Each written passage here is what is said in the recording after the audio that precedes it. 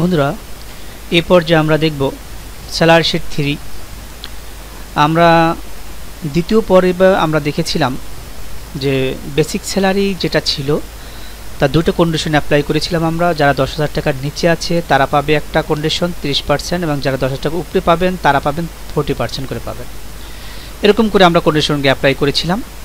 এরপর যে আমরা একটু দেখব যে এই কন্ডিশন ছাড়াও আমাদের আরও কিছু ডিপার্টমেন্ট থাকতে পারে, যেমন হতে পারে আপনাকে এখানে দিতে পারে যে একটা মোবাইল খরচ দিতে পারে প্রতি মাসে। এরপরে থাকতে পারে যে আপনি প্রতি মাসে হয়তো কেউ না কেউ অ্যাডভান্স টাকা নিতে পারে, সেটাও আপনার থাকতে পারে। এইরকমভাবে যদি অ্যাডভান্স যদি থাকে বা আপনার যদি নির্দিষ্ট করে মোবাইল বি পে পে করে বা অন্য কোনো ডিপার্টমেন্ট থাকে তা আমাদের খেয়াল রাখতে হবে যে ডিপার্টমেন্টগুলো আপনাকে দিচ্ছে, ওইটা যদি আপনাকে দিয়ে থাকে একান্ত সেটা হবে আপনার যোগ। আর যদি আপনি অ্যাডভান্স কিছু নিয়ে থাকেন অফিস থেকে, তাহলে সেটা নেট পেমেন্টে কি কী হবে? বিয়োগ হবে। তো আমরা একটু সহজভাবে দেখে আসি। আমরা এখানে স্যালারি শিটটি একইভাবে তৈরি করে রেখেছি। আমাদের এখানে বেসিক স্যালারি ছিল পনেরো হাজার টাকা। তা আমরা এখানে একইভাবে আগের মতন করেই হাউস রেন্টটা বের করি আমরা ইকুয়াল টু ইফ আমরা ব্র্যাকেট দেব। এরপর আমাদের এটা কোন ঘরে আছে?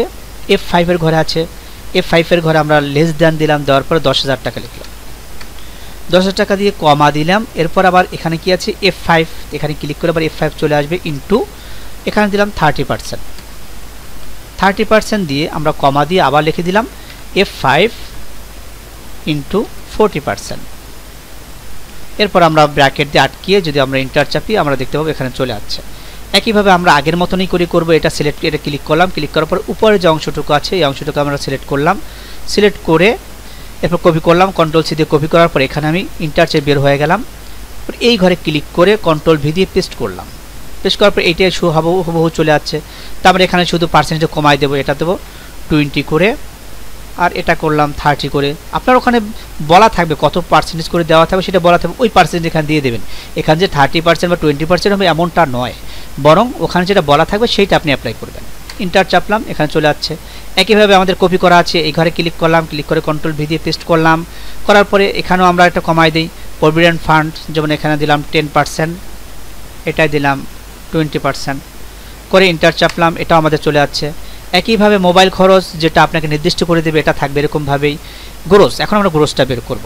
আগের মতনই আমরা ইকুয়াল টু দিলাম, দেওয়ার পর আমাদের এই যেটা আছে এইটা ধরলাম বেসিক স্যালারি যোগ দিলাম কিবোর্ড থেকে প্লাস চিহ্ন ক্লিক করলাম, এরপর হাউস রেন্ট ধরলাম প্লাস চিহ্ন ক্লিক করলাম মেডিকেল খরচ ধরলাম প্লাস চিহ্ন ক্লিক করলাম টি এ যাতায়াত খরচ ধরলাম প্লাস চিহ্ন ক্লিক করলাম, আমাদের মোবাইল খরচটা আমাকে দেবে, সেহেতু আমরা এটাও ক্লিক করে দেবো এটা যোগ হবে, তা আমরা এটাকে ইন্টার চাপলাম, আমাদের দেখা যাচ্ছে গ্রোস আমাদের বের হয়ে যাচ্ছে।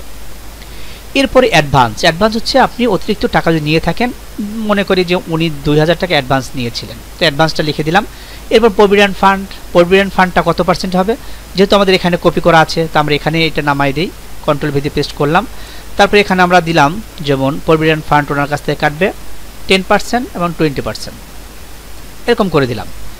আপনার ওখানে যত দেওয়া থাকবে, আপনি সেরকম করে দিবেন। ইন্টার চাপলাম, এখানে আমাদের চলে আসছে।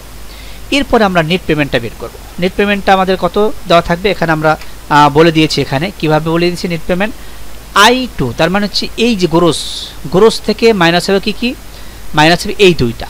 তাহলে এই দুইটা প্রথমে আমাদের যোগ হবে, তারপর এটা থেকে মাইনাস হবে। তাহলে আমি এখানে বলে দিয়েছি মাইনাস একটা ব্র্যাকেট দিয়ে জে টু মানে হচ্ছে এই টাকাটা অ্যাডভান্স টাকাটা যোগ হচ্ছে আপনার কে টু যোগ হচ্ছে K two J two J two যোগ কে টু এই দুইটা অ্যাডভান্স এবং প্রভিডেন্ট ফান্ড দুইটা হবে যোগ, আর এই দুইটা যোগ হবে এইটা থেকে মাইনাস তাহলে আমি এখানে করে দিয়েছি ব্র্যাকেটের ভিতরে। তো আমরা দেখে আসি এখানে একইভাবে ইকুয়াল টু দিলাম।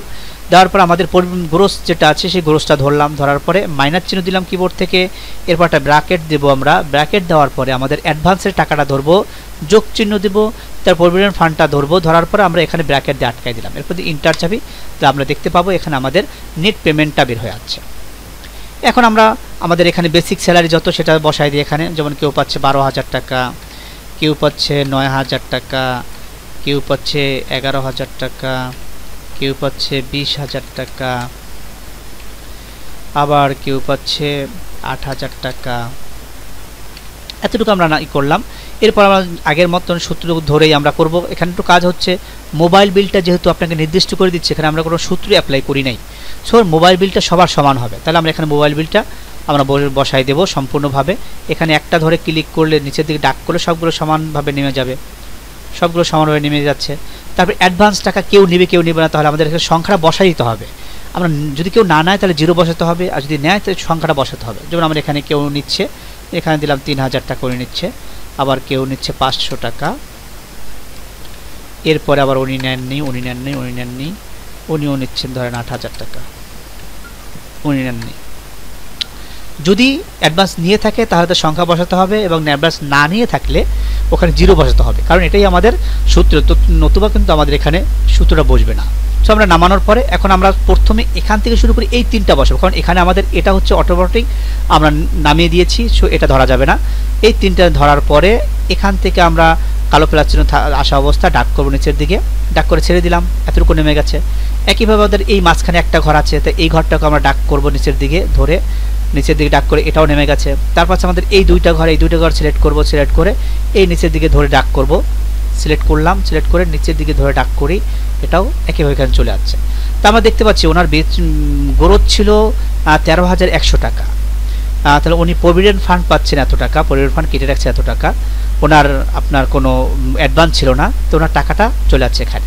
কিন্তু দেখেন, এখানে উনি হচ্ছেন একুশ হাজার দুইশো টাকা ওনার প্রভিডেন্ট ফান্ড কাটার কাটবে দুই হাজার দুশো টাকা। তাহলে ওনার যায় কত? প্রায় উনিশ হাজার টাকা থাকার কথা। কিন্তু তারপরেও উনি পাচ্ছেন ষোলো হাজার, তার মানে হচ্ছে অ্যাডভান্সের টাকাটা ওখানে কেটে রেখেছে। সো আমরা যদি এখন এখানে শুধু আমাদের বেসিক স্যালারি ঘরটা রাখি, তার সম্পূর্ণ নেমে যাবে কারণ আমি এখানে অ্যাডভান্সের টাকা এবং মোবাইল বিলের টাকাটা আমি সম্পূর্ণ নামাই দিয়েছি, আগে থেকে নামাই দিয়েছি। এই জন্য সম্পূর্ণটা আসবে। যদি এটা আমি নামানো না থাকে, তাহলে দেখা যাবে আমাদের সম্পূর্ণটা আসবে না। সো আমরা দেখি একটু। তো এখানে আমরা নামাবো যেমন সাত হাজার টাকা। দেখেন আমরা নিচে ক্লিক করে সাত হাজার সম্পূর্ণটা নেমে যাচ্ছে। তারপর উনি বেসিক বেতন বেতন পান দশ হাজার পাঁচশো টাকা। একইভাবে সম্পূর্ণ নেমে যাচ্ছে। তারপর উনি বেসিক বেতন পান যেমন ষোলো হাজার টাকা। একইভাবে বাইরে ক্লিক করি সম্পূর্ণ নেমে যাচ্ছে। একইভাবে ওনারটাও যদি আমরা দিই যেমন নয় হাজার পাঁচশো টাকা। তা আমরা দেখতে পাবো, সম্পূর্ণ নেমে যাচ্ছে। এরকমভাবে আমরা প্রথম একটা সূত্র করব, একটা সূত্র করার পরে যখন আমাদের যেটা অতিরিক্ত থাকবে, যেমন মোবাইল খরচ, যেটা আমাদের কোনো সূত্রের ভিতর, সূত্রে অ্যাপ্লাই করিনি, ওটা আমাদের সম্পূর্ণ অ্যাপ্লাই করতে হবে, সবার মাঝে অ্যাপ্লাই করতে হবে প্রথমেই। আর অ্যাডভান্স যেটা অ্যাডভান্সও আমাদের এখানে সূত্র নেই কোনো, সেহেতু অ্যাডভান্সটাও আমাদের কি করতে হবে?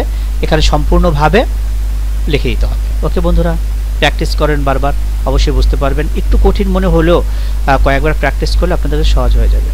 Thank you